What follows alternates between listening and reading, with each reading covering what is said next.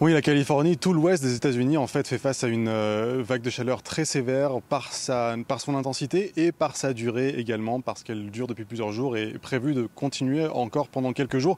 On va parler chiffres, on va parler records. La ville de Las Vegas, évidemment, euh, dans le Nevada, qui euh, n'est pas étrangère à cette chaleur, évidemment, elle se trouve en, plein désert. Et eh bien, cette ville va potentiellement égaler ou bien battre son record absolu. Et pour ces cinq prochains jours, le record absolu pour l'instant tient à 47,5 2 degrés.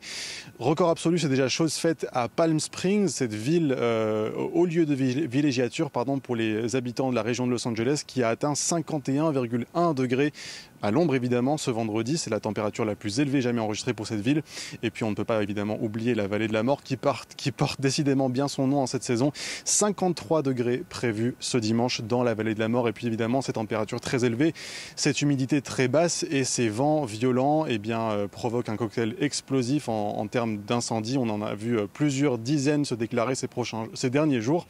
Et euh, pour l'instant, les pompiers ont euh, réussi à circonscrire la majorité d'entre eux, mais la situation est plus préoccupante dans le comté de Santa Barbara où un incendie a déjà brûlé plus de 5000 hectares. De nombreux habitants ont, dû euh, évacuer leur logement et malheureusement, malgré la proximité à l'océan Pacifique, eh ces températures restent très élevées, même la nuit, ce qui évidemment n'aide pas les pompiers euh, dans leur bataille face aux flammes.